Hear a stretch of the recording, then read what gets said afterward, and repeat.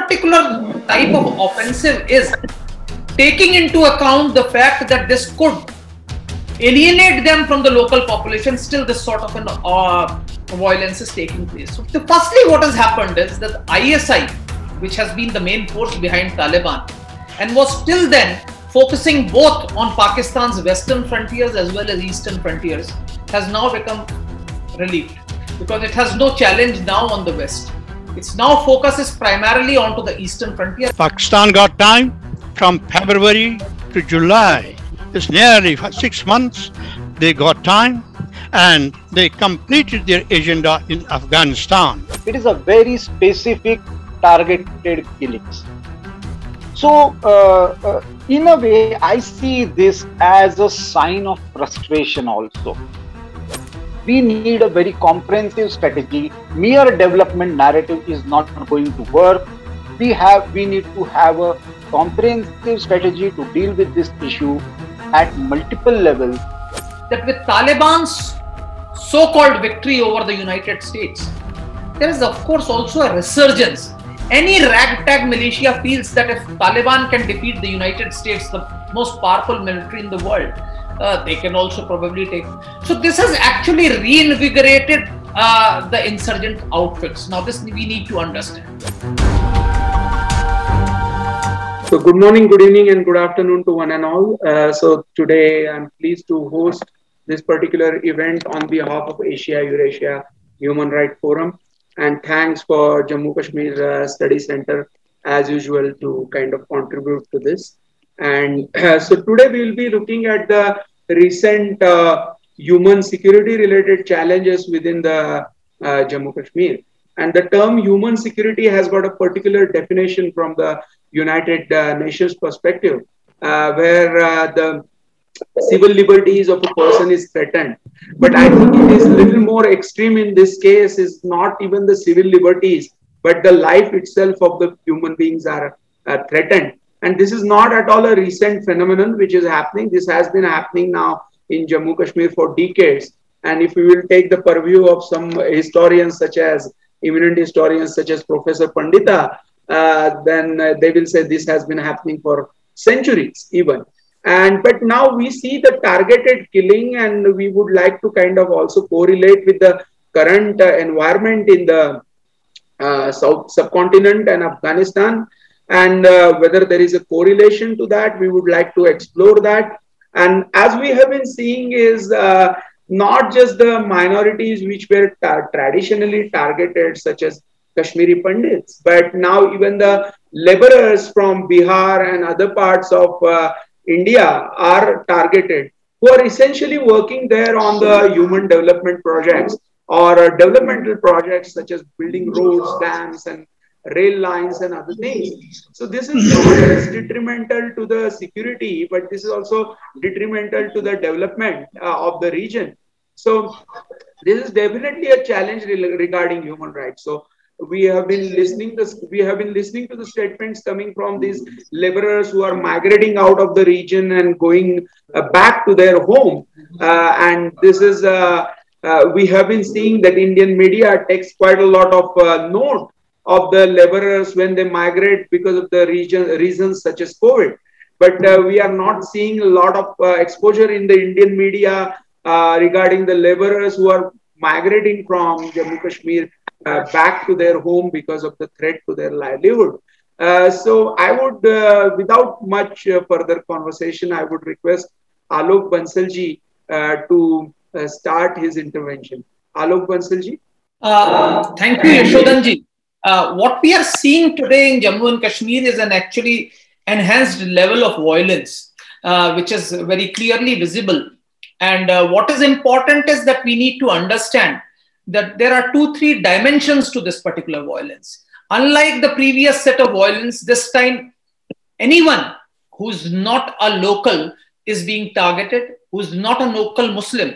You have seen Kashmiri Pandits have been targeted, outsiders have been targeted, uh, and outsiders who are being targeted, it's Muslims, non Muslims, government officials have been targeted. And recently, now, of course, a 22 point uh, uh, ISI's game plan has been unveiled, which says that anybody who has been uh, resident in Jammu and Kashmir needs to be targeted. The second important fact is that while targeting people this time, there is no consideration for the locals of Kashmir because they are targeting laborers. Please understand, most of the laborers in Jammu and Kashmir belong to, uh, are, are from outside the state. And if you actually target the labor, you will find that the lot of people who are working in Kashmiri's homes and uh, orchards, etc., will not be there. The tourism will get affected. The tourists will not come to this place because uh, there'll be a fear psychosis. And this comes at a time because last month itself, I think there was not a single room available in most of the tourist spots in Jammu and Kashmir. There was a huge uh, rush of tourists into Jammu and Kashmir. So this particular type of offensive is taking into account the fact that this could alienate them from the local population. Still, this sort of an uh, violence is taking place. So, what is the reason for this? And I have a very strong feeling that one needs to correlate it with what's happened in Afghanistan. When Taliban entered Kabul on 15th of August and subsequently managed to capture the entire Afghanistan, it has un- unraveled a lot of things. And it has had a direct impact on Jammu and Kashmir. And how it has happened, I'd like to bring it out. The firstly, what has happened is that ISI, which has been the main force behind Taliban, and was still then focusing both on Pakistan's western frontiers as well as eastern frontiers, has now become relieved because it has no challenge now on the west. Its now focuses primarily onto the eastern frontier. And as a result, what we see is that ISI has actually renewed its effort to cause turbulence in Jammu and Kashmir. This increased level of violence is nothing but a result of that particular factor. Because for last two years or so, there was absolute normalcy. The Jammu and Kashmir was progressing. There was a huge investment coming in. The tourist rush was there. And in fact, the DP World, the Dubai based company, has just signed an MOU for a huge investment, uh, creating a logistics hub in Srinagar. So, all these investments coming and the global community perceiving uh, was looking at it that it has now actually perfectly fine. So, it is at this juncture uh, that ISI feels that now that it has got no involvement on the West, it can focus its attention. The second thing which we need to understand is that with Taliban's so called victory over the United States, there is, of course, also a resurgence. Any ragtag militia feels that if Taliban can defeat the United States, the most powerful military in the world, uh, they can also probably take. So, this has actually reinvigorated uh, the insurgent outfits. Now, this we need to understand. The third important facet is that with Taliban in control of Afghanistan, there is also an ideological focus. Taliban is not an any ordinary insurgent outfit. It's an outfit which is associated with global terrorist outfits.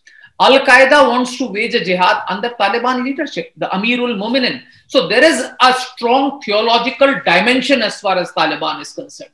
Now, with that theological dimensions, Afghanistan has already become and will in times to become a bigger hub of global Islamic terrorist outfits.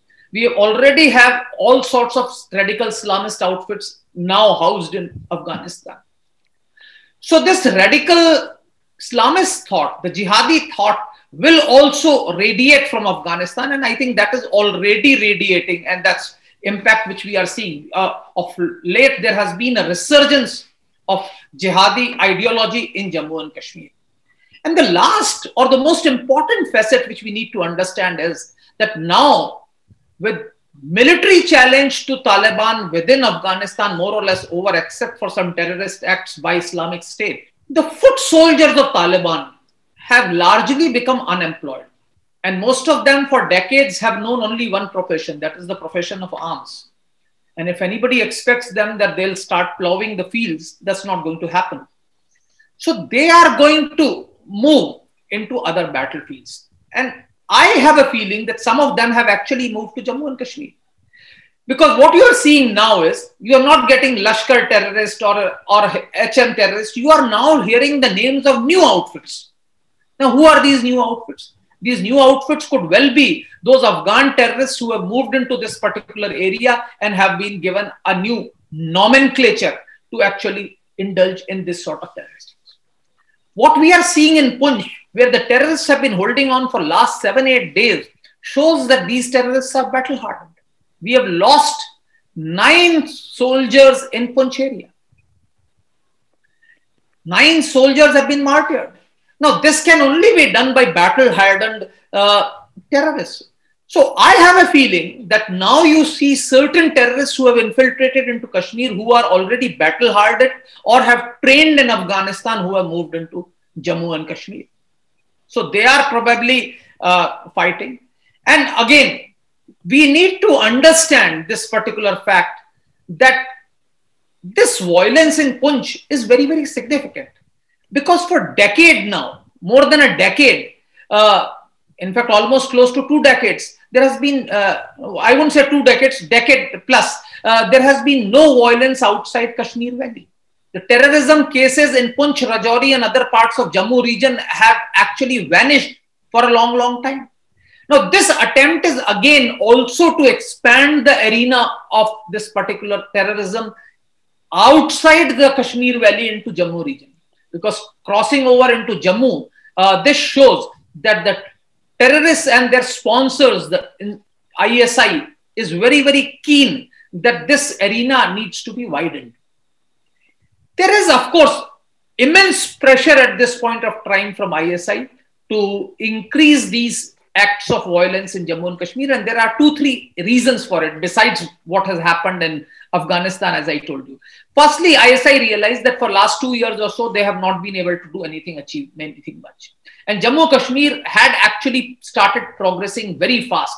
There were huge developmental efforts which were going on, and things had become virtually normal. The tourist rush was unprecedented. So they needed to do something because they felt that if we don't do anything, some things will become normal. The second, they wanted to expand this particular arena.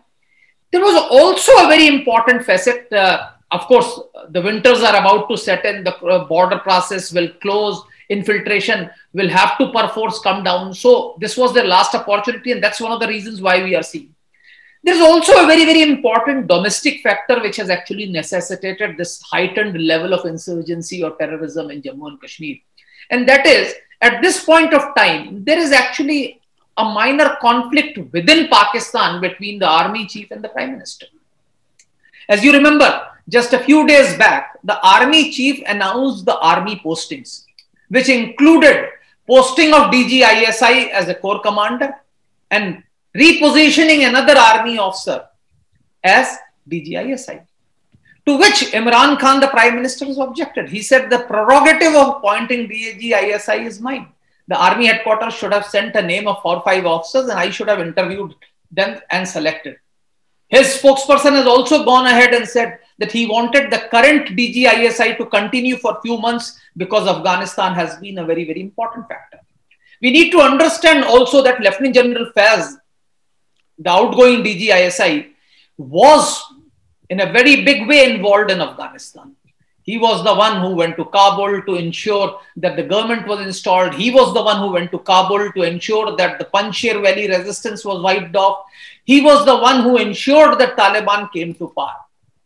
Now, this controversy has become acquired a big impetus because in Pakistan there is a big issue. For the first time, Prime Minister is trying to assert his authority, saying that it is his prerogative. And of course, army chief has sent it. So ISI also has a vested interest at this point of time to divert the local attention away from happenings within Pakistan and draw attention. And that's why we are seeing there are a lot of activities happening today. Pakistan came out with a very, very foolish uh, assertion that an Indian submarine was in Pakistani waters, although even as per the coordinates shown by their video, it was almost 150 nautical miles from Pakistani. So all these actions are taking place because at this point of time, Pakistan also wants that the domestic attention as well as international attention should be diverted away from this civil military dissonance that is visible within Pakistan and should be diverted towards other. Now, in these lights, we are seeing a grave human rights violation. As I said, Kashmiri Pandits had already been hounded. Now that they just started coming back, they are again being targeted. These migrants are being targeted. Many of them are actually eligible for permanent residentship of Jammu and Kashmir because they have been living in that area for 10, 15 years or more. So they could get the domicile. Uh, they are being targeted. The government officials are being targeted. The security forces are being targeted. And a deliberate attempt is being done, made to expand the arena of uh, insurgency and violate the human rights of minorities and other people living in these particular areas. So this is a very, very big issue. And I think uh, with these opening initial remarks, I would like to uh, close my opening statements and will take on any questions which come subsequently my way. Uh, thank you. Thank you, Alokji. So what we will do is that we will now also request uh, some remarks from Professor Pandita and uh, Professor Pandita needs no introduction. Is is president of Asia Eurasia Human Rights uh, Forum. And uh, what we will do is that after Professor Pandita's intervention, I request everybody to mute, please. So that after Professor Pandita's intervention, what we will do is that we will open up this uh, particular session for a panel discussion because we also have uh, uh, uh, Praful Ketkarji joining. We have uh, we have seen that Deepaji wanted to make certain remarks. So what we will do is we will open it up for the kind of a panel discussion or a question and answer session. But before that, I'll request Professor Pandita uh, to make his remarks. Thank you, Professor Pandita. Thank you, Yashodanji. Uh, thank you, Alokji.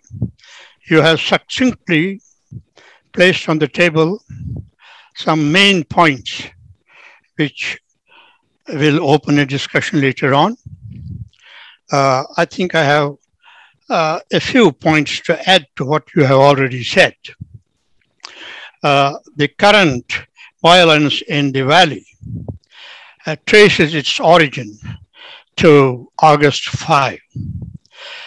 The interesting thing is that though normally during past two decades of violence in Kashmir, the people would come out on the streets in protest on even the smallest irritant if they found it coming from Delhi.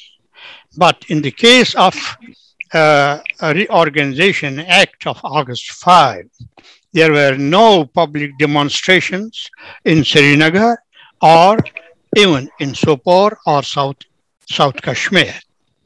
This is a very interesting point. Although the leaders of part, uh, political parties, they try to provoke the people by forming the what we call the Gupkar gang. And they left no stone unturned to provoke them and uh, instigate them, yet the people kept quiet. They did not. So this was a clear signal to local leadership that there was a change of in the mind, change in the thinking of, of people of Kashmir. One thing. Second thing, when this happened, uh, Pakistan tried to reach all the international community uh, and the United Nations, raising the hue and cry that India had amalgamated Kashmir into Indian Union, and this was against the charter, against the resolution, so forth and so on. But Pakistan received a cold shoulder, not only from great big powers, Western powers, but including the OIC, particularly UAE and Saudi Arabia. Both of them said it's an internal matter of India and we need not meddle into it. So, disappointed from the world community, disappointed at the world, at the United Nations, and disappointed with the Muslim uh, states, Pakistan began to think that if they had to do anything to please the Kashmiris and to uh, remove their doubts that Pakistan was incapable of doing anything, they even, if you remember, the Pakistani Home Minister Rashid often used to talk about uh, atom uh, nuclear bombs. And even he said, we have small nuclear bombs, half a kilogram, one third of a kilogram, things, nonsense like that. So Pakistan came to the conclusion that if they have to do anything, they have to do it on their own, and no country is going to support them. This is one thing. And then uh, I would like to draw your attention to a very, very interesting aspect of this whole story. In February last, Pakistani generals offered ceasefire along LOC, and India immediately accepted it. No, uh, no, no commentators in our country try to analyze why Pakistan offered so suddenly and why India accepted unconditionally. From my point of view, the hindsight tells me that a big mistake was committed by our policy planners. Pakistan wanted to find release from Eastern Front with India so that it could wholeheartedly attend to its plan, its agenda in Afghanistan, where it had made a strong foothold. So they wanted some sort of respite from Eastern Front. Therefore, they knew that India would immediately accept because India wanted that to tell the world that they are ready for any peace talks. But this was a misplaced. I think, I personally think that this was a big mistake, Himalayan blunder on the part of Indian policy planners. Pakistan got time from February to July. It's nearly six months. They got time and they completed their agenda in Afghanistan. They poured arms and ammunition, logistics, money, and uh, intelligence into Afghanistan with the result. And they knew that the Americans were uh, fatigued and they were not capable of fighting the Taliban on all the fronts. So they uh, also uh, deployed their own army personnel in Afghanistan side by side with the Afghans, with the Afghan Taliban, of course, in Afghan dress, not in military dress. And you have seen the result, what happened in a, in, in a lightning manner. The Taliban were able to capture Kabul. And then came the news that Pakistan was part and parcel of the uh, invading forces in Afghanistan. I will not, I don't have time. I'll, otherwise, I will go into the details of uh, the big perfidy, which is now called the Doha Agreement. It's one of the mysterious agreements between Taliban and the US, not between the Afghan government, elected government of Ashraf, but between Taliban. And I am of the view that many of his clauses, are secret clauses, have not been disclosed even today uh, to the people either in Pakistan or in Afghanistan or, or the world. Uh, because uh, the American stance towards Taliban suddenly changed after the capture of uh, Kabul, if you, uh, if you are able to keep track of the things that happened there.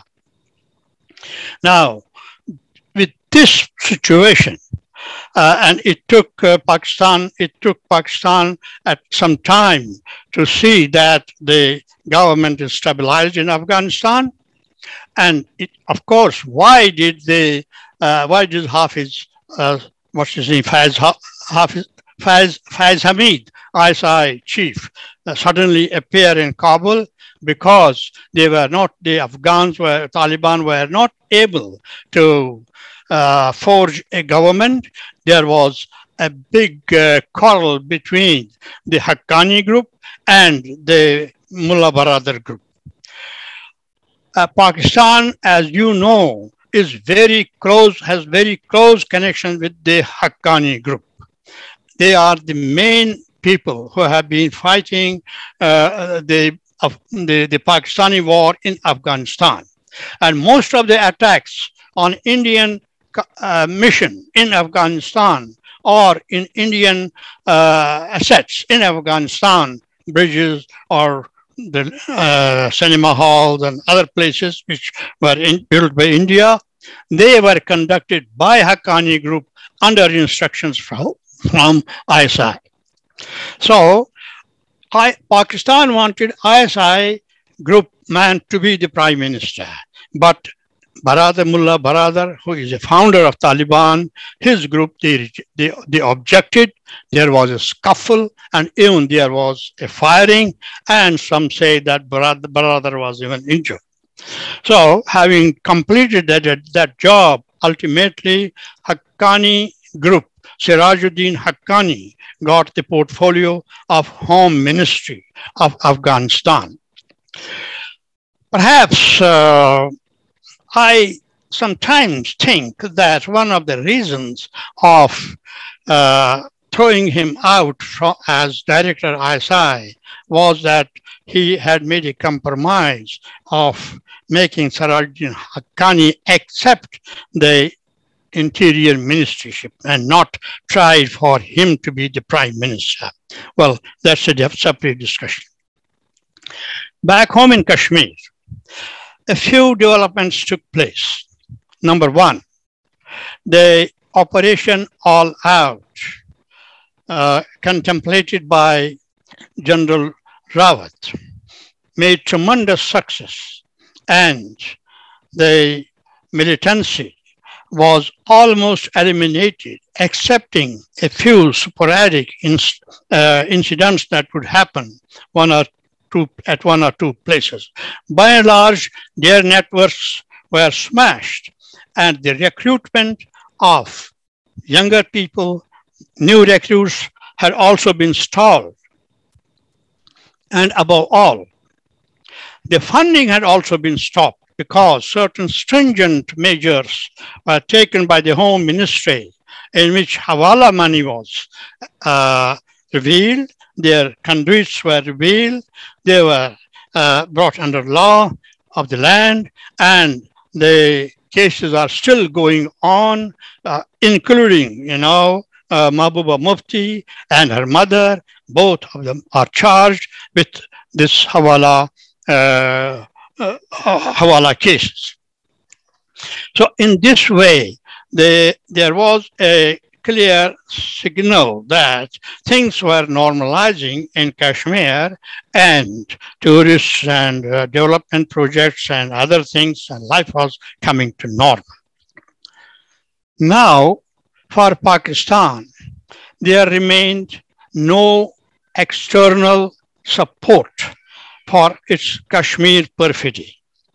And the increasing uh, worry of Pakistan that Kashmiris were getting disillusioned with Pakistan because Pakistan had not been able to do anything practical from 5th August onwards. They thought of changing their tactics. And the tactics, in changing the tactics, of course, they involved the the uh, terrorist organizations on, in Pakistan like Lashkar-e-Taiba, Jaish-e-Muhammad, and including Tehreek-e-Taliban Pakistan, though they are not seeing eye to eye with Pakistan, ISI, but for this reason they are there. And then they have also begun to record the services of ISK, which is IS Khorasan. So, under new strategy, number one, they gave a different nomenclature, as Alok Bansal said. The organization that has owned the killing of uh, the Hindus and Sikhs and the laborers, called itself the uh, Resistance Force, TRF, which actually is a branch or a part of uh, Lashkar-e-Taiba. But it has changed its name because Lashkar-e-Taiba has been designated both by the uh, Americans and the United Nations. Number two, in change of tactics, they decided not to use bigger guns, the AK-14, but remain confined to pistols, mostly made from China, which they can hide easily under their garments. This is the second. Third is they have recruited younger generations of in the age group of 20, 19 to 23, 24, younger people with newly indoctrinated and uh, given money, training, and indoctrination. And they have sidelined the traditional terrorist organization, uh, overground and underground, whatever call them, whatever you may, these elements. They are told to fire and throw away the pistol and run away into private houses. And those private houses are not known. Where they have gone are not known. There, as we see in this whole system, in this whole terrorist strategy, they have perhaps included uh, some of the dependable local conduits because by and large the police the security forces have made success in eliminating the terrorists on the basis of input from their own informers. That's a fact. And many of the informers were gunned down by the terrorists. So they have not, this under new tactics, they are not trying to depend, to, to disclose things to anybody who could become an informer. That's one of the, that's one of the uh, aspects why uh, these have not been traced as they should have been, though few of them have been killed. Those who killed those two teachers and two laborers, they have been gunned down in South Kashmir. Now, the purpose of these people in killing the Hindus and Sikhs and Muslims, especially from outside the uh, side in uh, Kashmir, from other parts of country, is to give a message to Kashmiris and to Gupkar gang that we are trying to meticulously implement your agenda of not allowing India to have its presence in this in Kashmir. It's an opposition in a way, is to oppose the domicile law, is to oppose the CAA and other laws which have been implemented, which have been framed and implemented, and under propaganda, the malicious propaganda, the government tried to contract, con contradict it so many times that there's no intention of bringing about any demographic change in Kashmir, but these are simple laws and there are rules and regulations. Anybody wanting to settle down in Kashmir has to complete those rules, complete those laws, has a 10 year, 15 year stay and so forth and so on. The point is this, which must be repeated. More nearly thousands of Rohingyas came to Kashmir. They were rather brought to Kashmir all the way from Burma, from Bangladesh, and they were settled in Jammu, not in Srinagar. Though normally they should have been settled in Srinagar. because that was a Muslim majority region. They were settled in Jammu. Second, they were settled along the borderline, which where the which is very close to uh, Pakistani border, the Samba, Kathua, and Jammu borderline. Most of them have been settled there.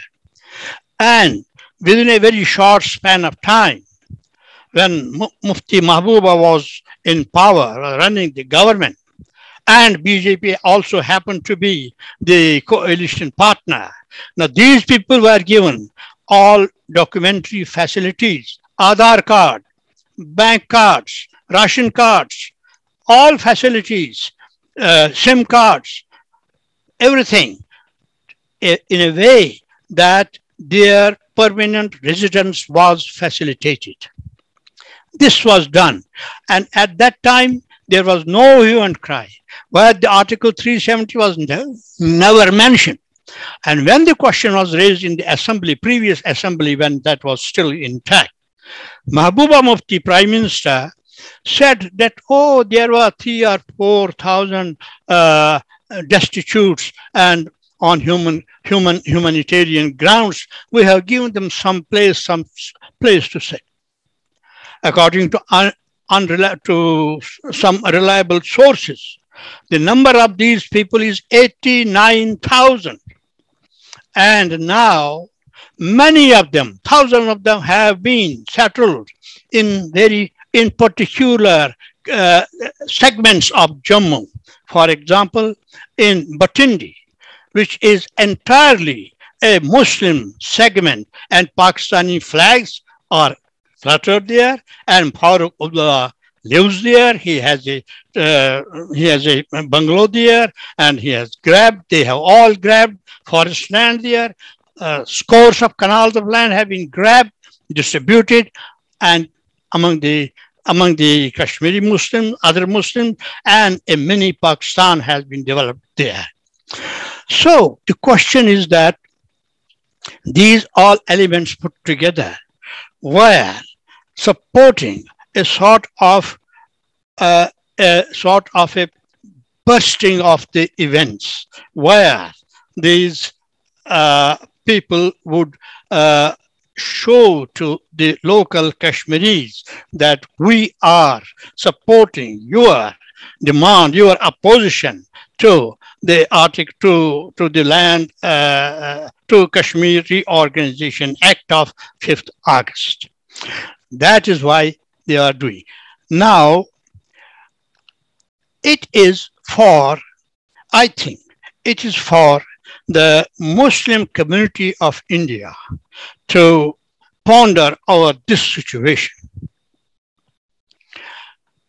They do not want the Muslims, Hindus, Sikhs from outside the state to come and do business there or do job service there. And who were these people? They are laborers, mostly from Bihar, from four to five four to five lakh uh, laborers, and they never came of their own free will because the Kashmiri people, the Kashmiri farmers, landlords, landowners, orchardists, and business people, they would not, they did not get the labor the labor was in short, was shortage. It was shortage of labor in Kashmir because people have become rich. Money has come from all sides, from Hawala money, Pakistan money, uh, diaspora money, Indian money, money from all, all sides. And there is no labor now in Kashmir. So they needed to uh, workers on, in the field, in the farms, who would work? These Biharis were given petty, they are given a, a pittance for 100 or 200 rupees because the poor people, they would come, work there during summer, earn some money, go back with a little bit of money to sustain their families. The first and foremost impact which the exodus, about two, 3,000 of the laborers have left Kashmir Valley and hundreds, thousands of them have been taken under protection by the police. And there are many still who are still living. the effect of this will be tremendous effect will be on agriculture, agrarian activities, on horticulture activities, on uh, tourism, and other activities of life. They had most of them were become domestic servants, serving in the homes, whereas a Kashmiri is not going, never going to become a domestic servant, not at all. But they had become domestic servants, and some of them would bring their families with them, and the families would also work. Laborers would work there. The question is that what type of Kashmir do they want? What type of uh, uh, fundamentalization, Pakistanization of Kashmir do they want? This is a very serious question which the Indian most sane and sensible Indian Muslim uh, community should ponder over. And what if the majority people in Bihar are three or four villages from which these three or four lakhs of people had moved to Kashmir and now they have come back. Some of them have lost their lives. If they also retaliate, how will the Indian Muslim react? Human nature. We don't want violence. We abhor violence, but human nature is there. And Mahatma Buddha's teachings do not succeed everywhere because then you suffer, you retaliate also. I think that this is a very critical situation. Leave aside Poonch. I am not going to deal with Poonch because Poonch, as Alok said, this is a very uh, peculiar case because so far no, no stubborn resistance had been met in Jammu province, in, in Thanamandi uh, and Rajouri sector so far. And so much so that we had to use helicopters in this uh, standoff. And what will be its consequences, we'll have to see. But I think there is a widespread conspiracy in which there is much involvement of uh, many factors. About Taliban, I must say that there is a controversy, there's a confusion among the Taliban. There's one section of Taliban who say that we do not, our philosophy is that we do not fight on another uh, country's land. So we don't care for Kashmir or any other country. We don't go there to fight. But there is Haqqani group, which is nurtured by Pakistan. Sirajuddin Haqqani clearly said, our next mission is in Kashmir, and we cannot take it lying low. We have to take serious this very seriously because they have been indoctrinated, trained, and that is the weapon which Pakistan is using, will be using uh, very effectively in Kashmir. I think I have given you a brief summation of other points. Thank you very much for patient listening. Uh, thank you. Thank you very much, uh, Professor Pandita. Uh, what I'll do is now, uh, before opening it up for question answer session and before opening it up for comments from others, I will. Uh, I would request uh, Praful Ketkarji to make certain intervention. Uh, Praful Ketkarji, are you online? Uh, can you hear me? Yes, yes, I can hear you. Prafulji, yeah, uh, probably you need to unmute. I guess. Yeah, yeah. you hear me? Yeah, we can hear you, Prafulji. Yeah, yeah, yeah. Thank you.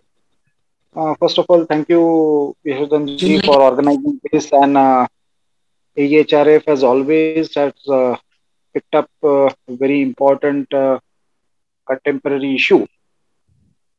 I will just, uh, you know, try to reflect on three uh, big points. First is, uh, you know, as Captain Alok and Dr. Pandita both has discussed about why this new strategy.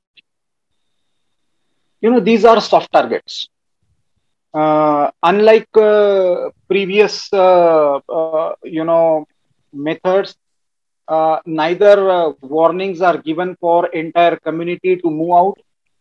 Uh, though TRF has come out with some uh, uh, uh, some warning for non non-locals, uh, so so to say, uh, recently. But but still, unlike 1990s, many people try to compare it to 1990s. I don't think uh, that is the uh, exact pattern.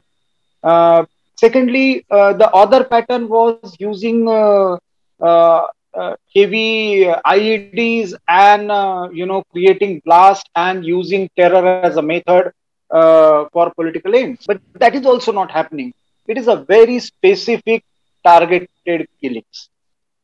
So, uh, uh, in a way, I see this as a sign of frustration also.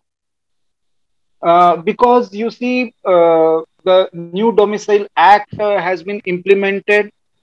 Uh, many Kashmiris uh, who were displaced earlier due to violence, they are being resettled.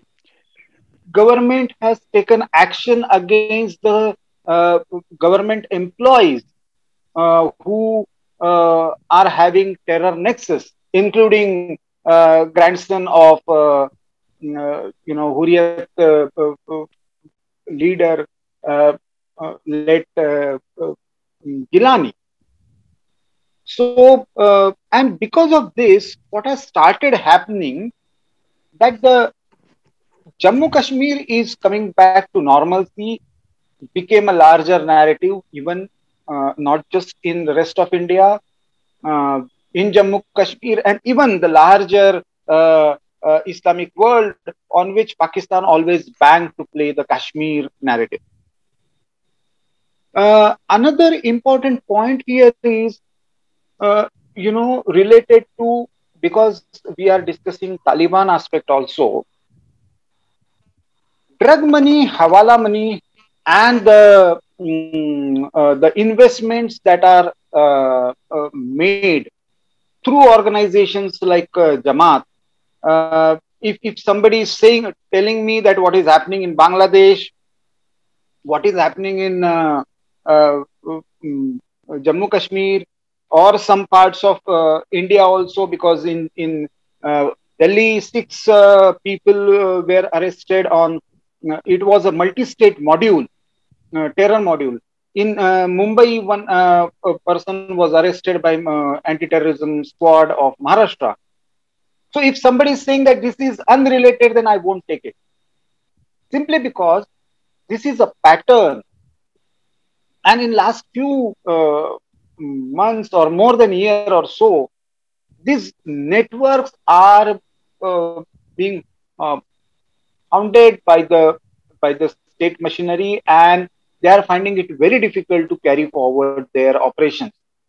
Now, as Taliban is in place, as Alokji rightly said, one is the ideological inspiration and the confidence to carry on or the revive sleeper cells has become one uh, rallying point. But besides that, the interests that are developed around the terror economy, that has also got the traction. But the last and the most important point, Yashodhanji, I want to make it, uh, you talked about the human security dimension. Now, frankly speaking, human security is not just about livelihood. Human security is about the dignity, about the living, about the fundamental rights. So it was essentially viewed vis-a-vis state. So security should not be seen only at the state level or the global or world order level. It should be brought down to human level. And that's why individual dignity, individual rights, and in case of AHRF, I think this discourse needs to be taken forward that emergence of Taliban and the ideological inspiration that Taliban gives to many of the groups all over the world is not just human security issue, not just a challenge to the idea of democracy and uh, civil rights, it is also a challenge to the entire global security scenario. What is happening in Kashmir, if somebody is saying that it is India's problem or it is just, uh, you know, some soft targets are being, you know, uh, targeted just to convey the message, I don't take it simply because the message is very clear that the idea of democracy, the idea of human rights, the idea of individual liberty and religious freedom is not acceptable to us. We believe in a global caliphate and we will challenge this American world order. We will dismantle it and create a global caliphate. Whether Taliban does it or Lashkar-e-Toiba front, RTF does it or IS does it or Al-Qaeda does it, it doesn't matter. The challenge is ideological. And that's why I feel that though it starts with the human security dimension, it also poses threat to the state security and the global security also.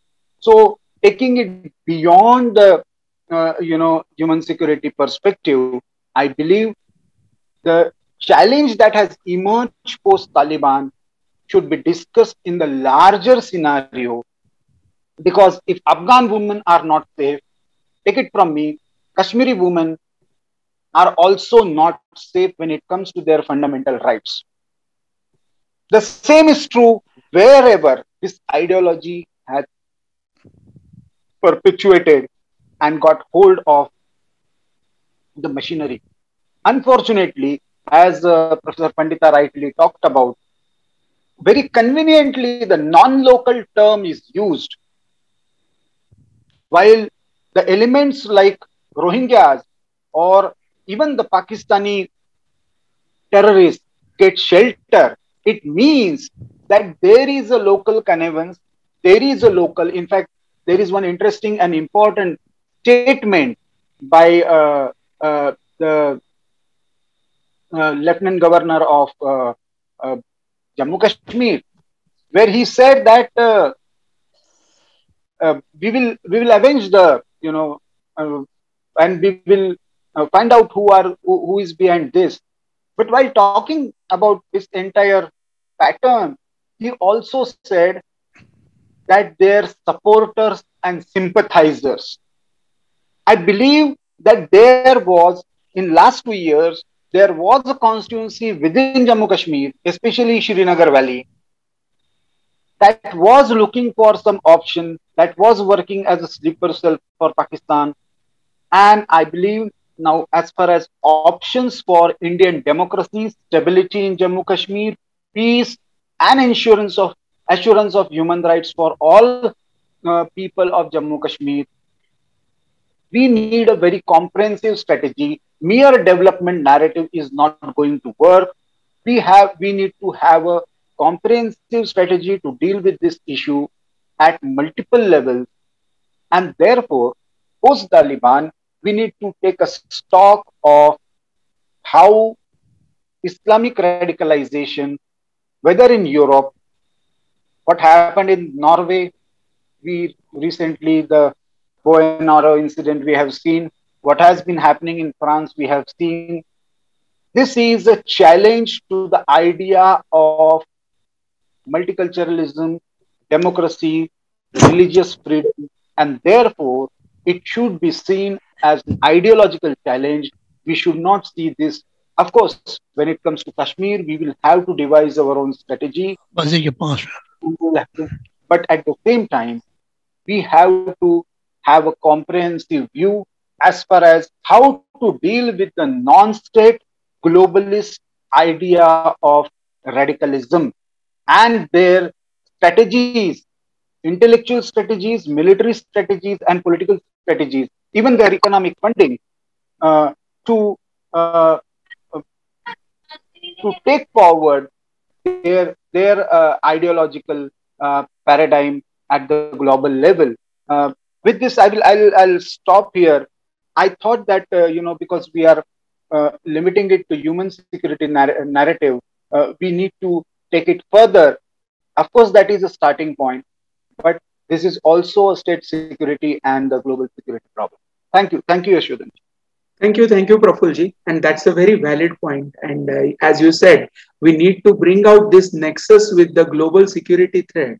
And whatever happens in Kashmir is not really merely targeting of some minorities in India. And uh, as you mentioned, uh, many of the leading uh, human rights organizations have tried to portray it in that manner. Up till now, they were not even taking a note of it.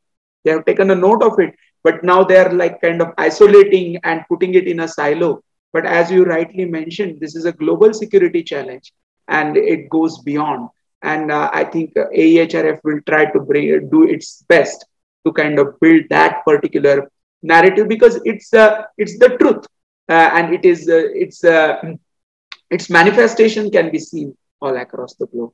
What I'll do is now I'll open it for the comments from others. Uh, please keep your comments very brief and request you to rather ask a question to panelist uh, Prafulji or uh, Professor Pandita or Alok Bansalji. So Deepaji, you had some questions. Uh, you typed in. Please unmute and ask the question.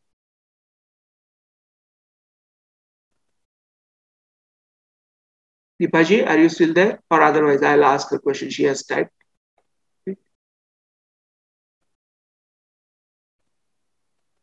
Yeah. So, what are the chances of these terrorists to come into rest of India from Jammu and Kashmir? That was the question. So, uh, anybody, Professor Pandita, or we also have a Major Bhargava here. Major Bhargava, would you like to react to it? Yes, definitely. Thank you, Yashodhanji. In fact, uh, I have also mentioned uh, two sentences in, in response to Deepaji's question. Now, uh, like the uh, information is coming out of uh, coming out that several people are getting arrested who are connected with uh, various nefarious activities indirectly linked to ISI. Mainly, the person who was arrested at Delhi recently, Mohammad Ashraf. most of these sleeper cells have been activated in the country, all over the country.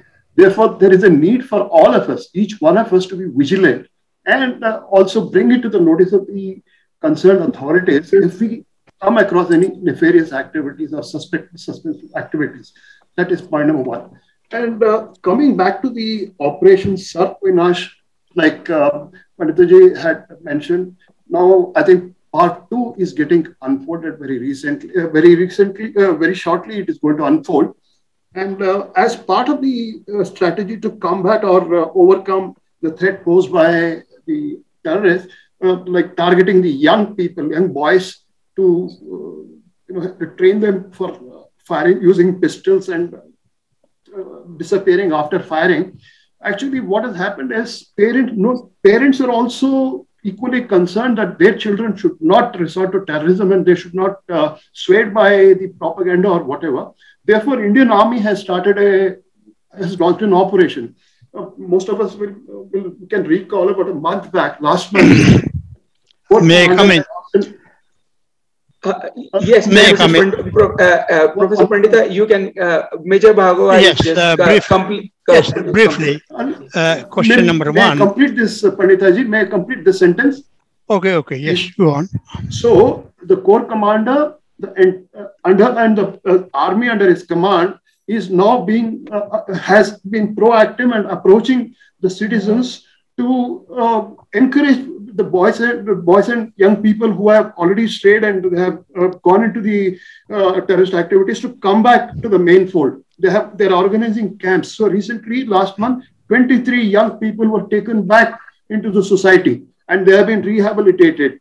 And of course, legal action does take place, but uh, nevertheless, they have been rehabilitated. So this is instilling confidence among the population that look, by due to some reason, if somebody had strayed, let it not uh, give up. Let us uh, give them a chance to reform and then be back to us. And then, secondly, during the operation on uh, Ratanpur, uh, Ratanpur Ridge, uh, it was noticed that it's a large scale, uh, you know, hideouts. So the operation is being carried out to identify all those hideouts and uh, destroy them. And uh, so the action is uh, going on. Now, uh, the, the, basically the design of Pakistan or ISI is to cause destabilizing, uh, uh, uh, create terror among population. So that needs to be understood. Thank you. Uh, thank you. Uh, Professor Pandita, you wanted to make certain. Yes, uh, briefly, to, to, to answer the question raised by Madam. Number one,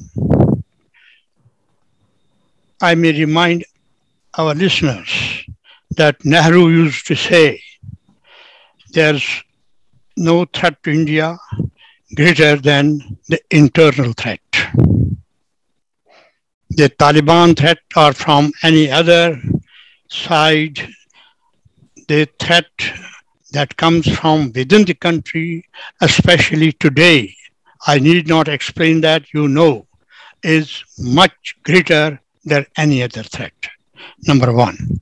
Number two, uh, about the global front, what uh, you have said that there should be a global front to fight this type of terrorism.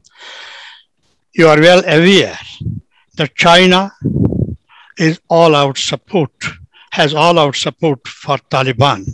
They have not, they have, they have, they were the first to invite a delegation of Taliban to Beijing, led by Mullah Baradar. They were first to announce $31 million help to Pakistan, to, to Afghanistan, and they said they are watching and they will recognize, number one. Number two, Russia is also fraternizing with the Taliban, inviting them to Moscow. And uh, these are the two world powers. The rest of the Muslim world, as you know, they are all silent, they are all uh, tongue tied. And uh, then the United Nations is also thinking of coming uh, uh, with humanitarian assistance to, to Afghanistan, to Taliban. That's also there. So I think that the idea of global fake, raising a global front against the Taliban, against terror, may not work. In fact, Modi ji is the first world leader who has been raising this issue and demanding that in, G20, in G20 in Turkey, Istanbul, he raised many years ago, he raised the issue. There was no response. So therefore, we Indians should uh, not pin any hope in any support from any country if, if, if the situation worsens uh, on the Taliban front, uh, we have to handle it ourselves. We have to be prepared for it. And what that preparation will be is a different story. Thank you. Thank you, Professor Pandita. Uh, T.S. Chandrasekharji has a question. Yeah, his hand is raised. Uh, can you please unmute and ask your question, Chandrasekharji? Yeah, thank you very much. Uh, uh my question uh, was uh, in related to human security challenges. I heard Professor Alok Bansal and Kashi and Pandita ji and also Praful ji when he was talking.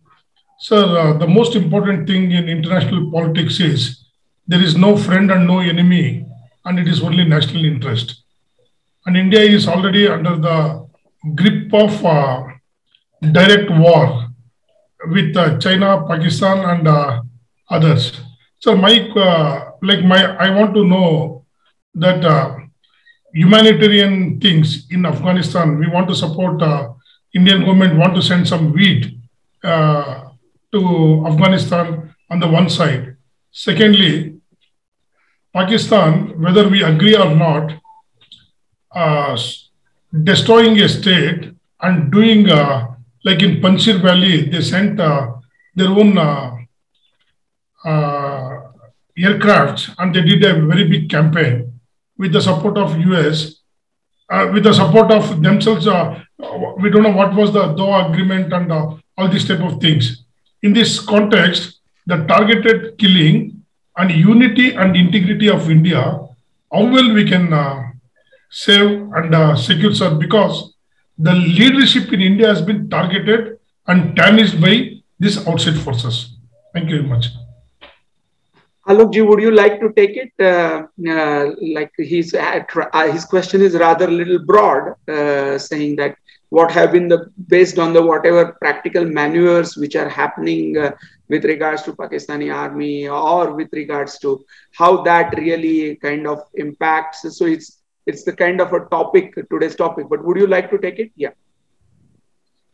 Uh, what it impacts uh, India or what it impacts the global community, uh, I've really not got the hang of the question. But what I feel is uh, that uh, Pakistani army and Pakistan's ISI definitely feels euphoric at this point of time with their so-called perceived quote unquote victory in Afghanistan.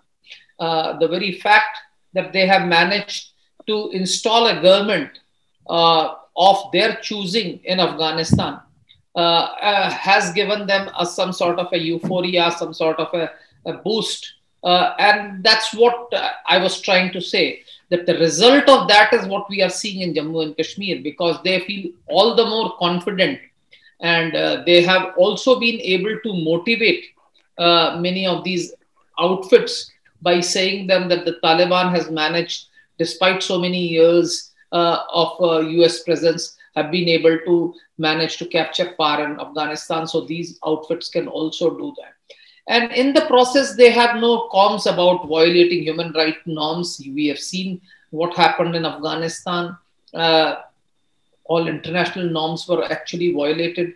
Even today, uh, the ruling dispensation in Afghanistan continues to violate uh, uh gender equality because women are, are conspicuous by their absence. Sectarian minorities, religious minorities have all been uh, uh, vanquished and we also need to understand one more thing uh, that under the present dispensation, it is not possible, even if uh, the West or Zalmay Khalilzad or anybody wants, Zalmay resigned uh, yesterday. So uh, that also shows that there are some uh, differences, there are certain criticism. Even if Taliban wants to moderate their ideological fervor, it will not be permitted because they have another contending outfit in the form of Islamic State so if the foot soldiers of Taliban feel that Taliban is in any way mellowing down its ideological uh, fervor, uh, they have an option. They would probably gravitate. So this actually also prevents Taliban from actually moderating their stance because there are a lot of people in India who perceive that we should talk to Taliban, we should reach out to Taliban. Uh, uh, by doing so, we would only be providing legitimacy to an outfit which is irrevocably hostile to it, whose ideology will eventually pit it against us. So, this fact we need to understand. And this is what I understood. My apologies if I have not been able to answer uh, the exact nature of your question. Thank you, thank you very much, sir. So, but uh, one small point was uh, the toolkit uh, Kabul to Kashmir, the 22 points which uh, the ISI wanted to put it in the Murshidabad. Pakistan occupied Kashmir, how it will affect the whole India, sir? Thank you very much. Uh, this is a very pointed question. Alokji, would you like to take it? There is the, he has See, been referring to, yeah, yeah, yeah. What they're trying to do is that whatever we had achieved in last two years plus, where we have tried to uh, manage to whatever progress we have made in Jammu and Kashmir and the related areas, uh, all those uh, issues they are trying to uh, unravel. So that is what their agenda is. Now, how successful uh, they would be, it is uh, at this point of time difficult to say because uh, it is initially what we are trying to see, what has happened by recent events are there. In fact, uh, the situation has assumed certain amount of gravity. That's why Chief of Army Staff is today in Poonch because the Poonch uh, uh, confrontation with the terrorists have been going on almost for a week plus. So now this is a issue. This is a cause for serious concern, and I think uh, that is uh, what we are seeing. Uh, that this toolkit of 22 points where they're actually targeting any government official, whether at home or not, any non resident, whether he's there. So the aim is to ensure whatever progress has been made to bring Kashmir on the uh, normalcy to Kashmir is actually derailed. And I think on this point, it will be prudent that both Panditaji and Prafulji also give their opinion. Yeah, I would like to pose one question to the panel purely from the human rights perspective. So we can see now recently, I was while discussing with Prafulji, I was mentioning that Human Rights Watch has come up with a statement saying that Indian state should protect the minorities, Hindus and Sikhs in the Kashmir Valley, and there have been targeted killings. So I think uh, this kind of statement probably we are seeing first time from uh, organization like Human Rights Watch. So should we be should we consider that this shows a kind of a shift uh, or right sort of a appreciation of an issue from organizations such as Human Rights Watch or Amnesty International, or uh, should we uh, should we look at it still skeptically? Prafulji, would you like to react to it? Yes. Uh, two things before before I come to your question on human rights. Uh, uh, what uh, T.S. Chandrasekhar uh, had asked, I think when it comes to our security forces and our strategies in the valley or on the border, I think we shouldn't bother much. Our uh, we, we, we know how to handle them for last three decades. We have been handling them. Uh, in fact, from 1948 itself, we have been dealing with this situation and now also we will deal with it. Um, my real concern is the sleeper cells and the earlier question that was asked, and it is not just limited to Jammu Kashmir. Remember, when Jammu Kashmir was uh, burning, in the rest of India also, there were series of blast and terror attacks from Mumbai to Hyderabad to Pune, and you name a place and you will find a, a pattern there. I have a fear that from South Indian side, especially recently, many of us missed out the way Lakshadweep erupted suddenly in two days in a protest. Uh, the way democratic space is being used to vitiate the atmosphere and uh, create, uh, uh you know, uh, uh, certain kind of unrest. That is more concerning pattern for me. As far as ISI toolkit and their operations in the valley is concerned, I think security forces uh, are, and, and, even politically, we are matured enough to uh, deal with this uh, uh situation. As far as this uh, statement is concerned, it is really heartening uh, for a change. but again, please understand, there is a, for me, there is a fundamental problem in the understanding of human rights by these so-called human rights organizations. because again, they are appealing to the Indian state to protect the minority. Okay. And the moment Indian state comes into action, they will again question the Indian state that why you are using high-handed approach. So the, the fundamental approach is not of just or justice.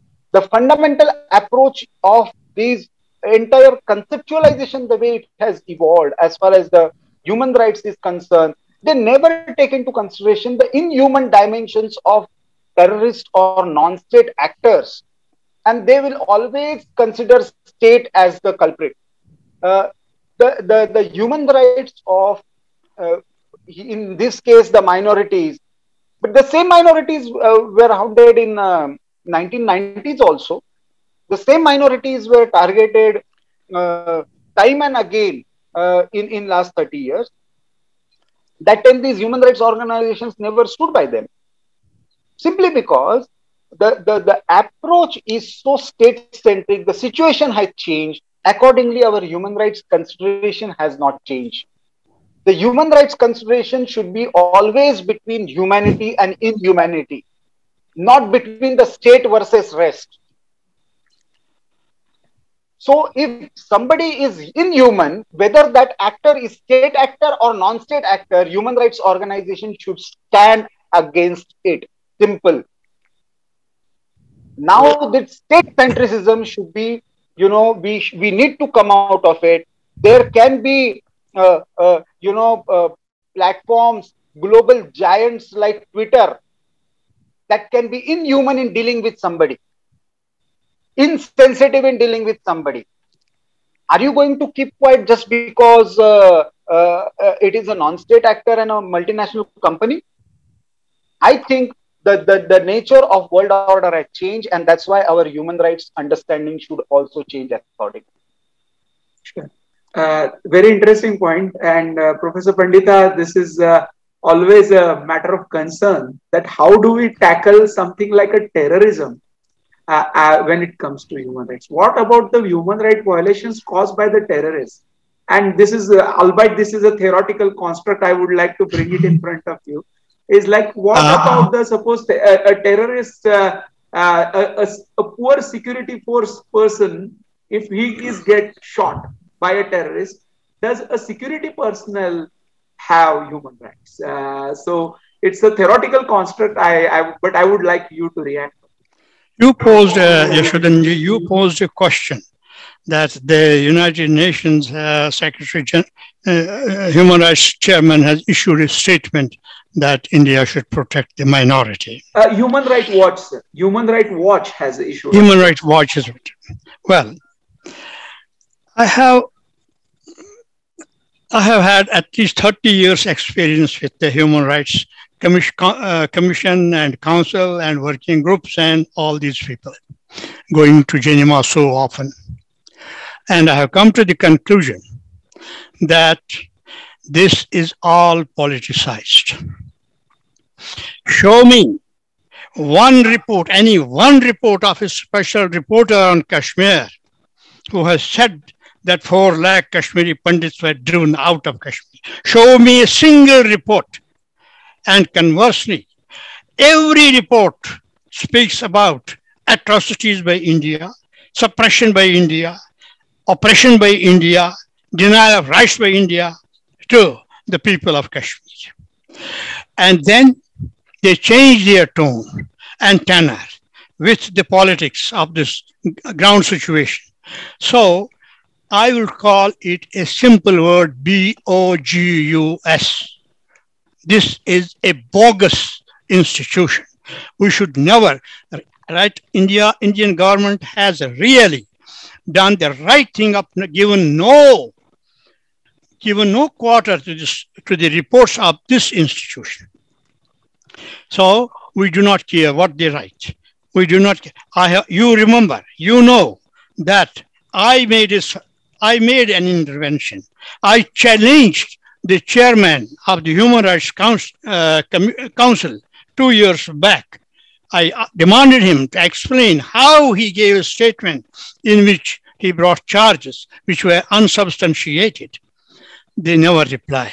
So we should not care for what the Human Rights Organization or the Human Rights Watch.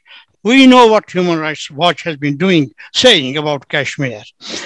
Amnesty International has been issuing fake photographs of killing, of oppression or suppression of women. And when they were uh, deciphered, they, they came to know that it, were, it happened somewhere in Africa.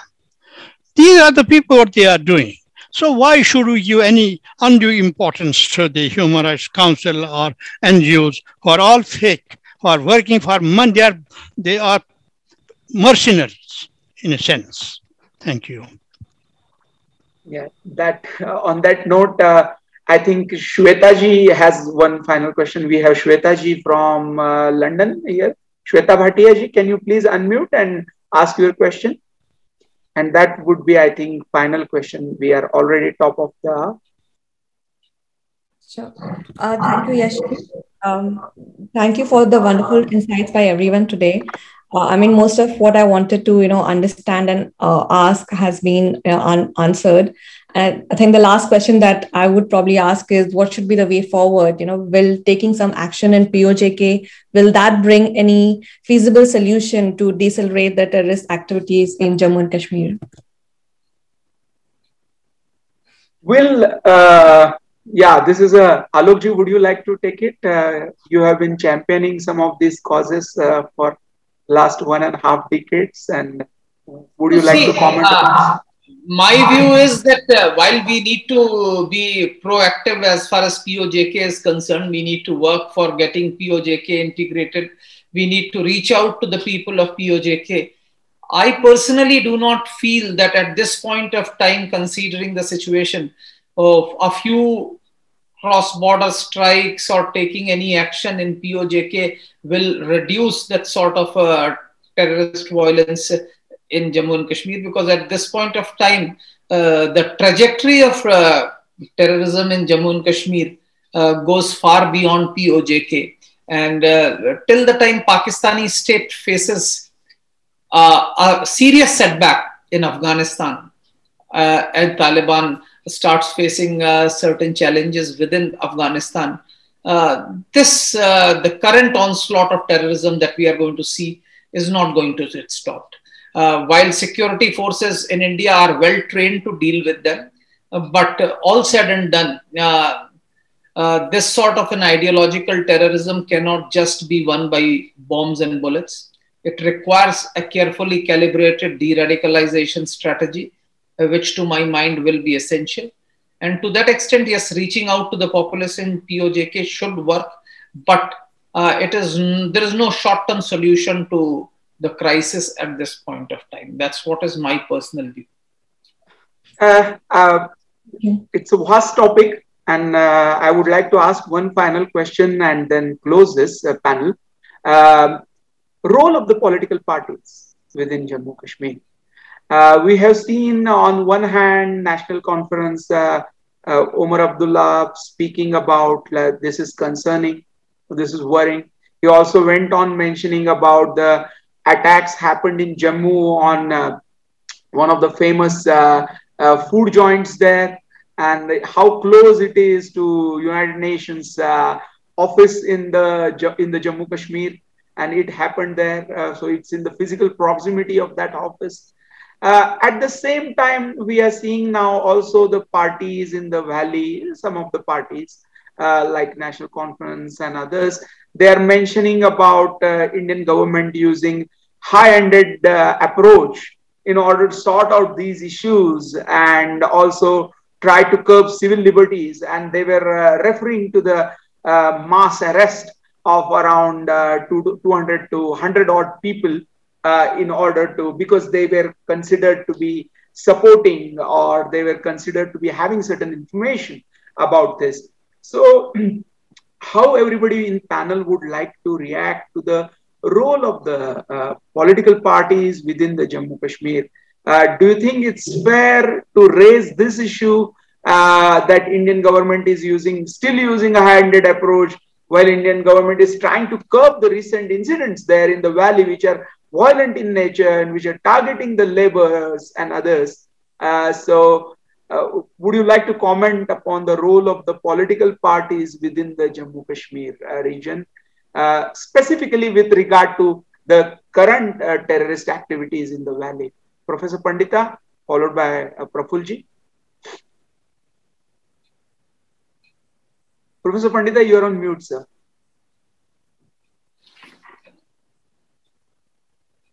Well, briefly, briefly reacting, PDP, Mehbooba Mufti's party, she wants a constituency with Jamaat Islami. She is busy in fraternizing with Jamaat Islami. National Conference is has obsession of finding back the dynastic rule which has been lost. And BJP in Jammu, I mean of Jammu region, is a house divided against itself. The only the little bit hope is that now that uh, Devendra Rana has joined it, BJP, he may do something. These political parties have no ideology. They have no ideology. They are deficit of ideology. They will do nothing, they can do nothing. The people, if they are handled well, they will reject them, one and all. So we should not expect anything. Well, they will fight elections. In the name of election, they will fight elections. The questions of ideology. We have lost Kashmir the day we removed Bakshi Ghulam Muhammad. That was the day when we lost Kashmir. We have not regained Kashmir ever since. He was the man who knew people. He was the man of the people. And he saved India at a crucial time when Sheikh Abdullah was demanding independent sultanate. We, we can't, re- Bakshi Ghulam Muhammad will not be reborn. So what we have to do in the political system there is that before inducting any political party into uh, the affairs, do the developmental work, continue governor's rule for another 10 years, do developmental work, deliver, give delivery to the people, let them understand that there is, a, they do understand now that governor's, lieutenant governor's rule is delivering. And the people, they, they, they, the mentors of those people who are now terrorizing the Hindus and Muslims and Sikhs and everybody, they are from the local, they are the local chapters, not essentially ISI. The local chapters are uh, their mentors to do or what not to do. So this has to be fought very well. This radicalization and all this has to be fought Political parties have uh, given a very bad account of themselves. Farooq Abdullah says, now कि अगर मेरा खून भी बह जाएगा मैं हिंदुस्तान के साथ हूं अभी few days back he has said he has never said during the days when he was chief minister he was the man who formed the uh, Gupkar gang and look read what he was saying it's all against India never thought that what India was doing was to undo the injustice which was done to the people of Kashmir. So, therefore, my opinion is that uh, the lieutenant governor's rule should continue for a long time. Things should be ameliorated, and people will begin to realize that more than religious frenzy, it is the economic good, economic pursuits, economic welfare that will set things right. Uh, Prafulji, even the Mirwais uh, of Hurriyat conference visited the, the bereaved family of Mr. Bindru, and uh, they are saying that uh, this is a this is a kind of everybody is referring in social media to it as a symbol of Kashmiriyat, but at the same time they think that Indian government has been using a high-handed approach there. Would you like to react uh, to this situation? See, I, I believe that Kashmiri uh, was killed uh, the day uh, uh, in 1989 when the Kashmiri Pandits were thrown out and the, the, the process started Because none of these people actually uh, stood by Kashmiri Pandits, otherwise, we wouldn't have seen this kind of situation in, in the valley. if you see the two reactions, of course, Mirwais uh, has has uh, um, spoken about uh, Kashmiriyat. Farooq Abdullah said ये हमको बदनाम करने के लिए किया जा रहा सो he is not referring who is doing it he is more concern that the he as the uh, you know uh, uh, the soul having sole monopoly over this kashmiriyat uh, is is is being targeted through these targeted killings. So उनको बदनाम करने के लिए किया जा रहा है and Mehbooba Mufti is more forthright as far as the uh, objective of this killing is concerned. He called she called it as the you know it's a, a, a sort of a, a slap on a normalcy acrobatics of the center so uh, these reactions clearly tell us the amount of frustration and lack of credibility these leaders have in Kashmir Valley itself. Problem in the valley today is it is leaderless though some process has started on the ground with uh, local elections, but it requires some time for new leadership to emerge, which is much more credible, acceptable.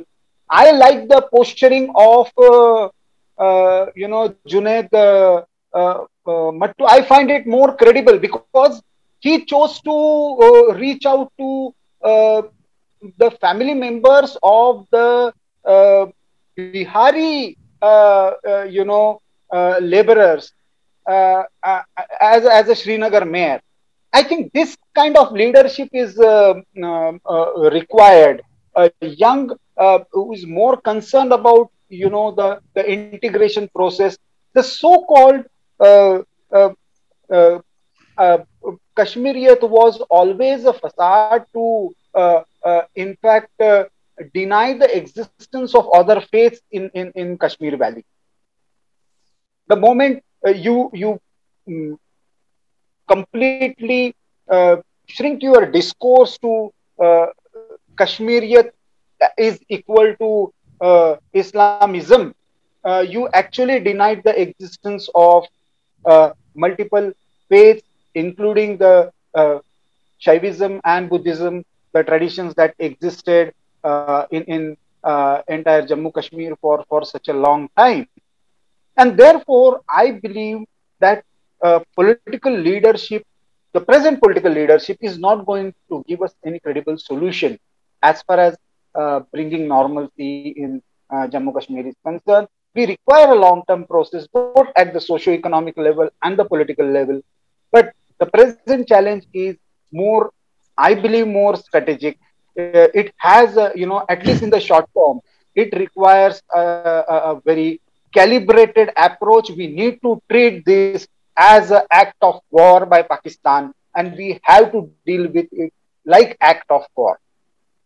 For me, for in the short run, this is the this is the option available for for India. Of course, we have to deal with it diplomatically, and we are uh, dealing with it.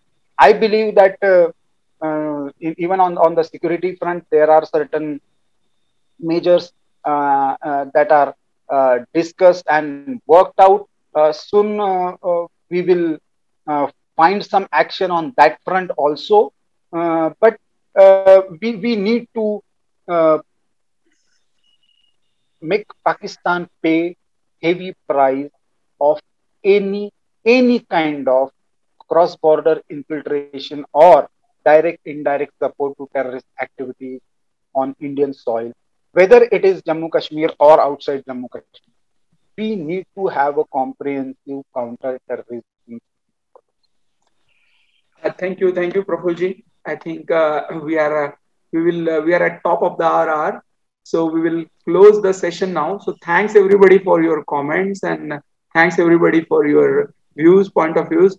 We we agree that you know it's not just a issue which is limited to Jammu Kashmir. There are global trends here.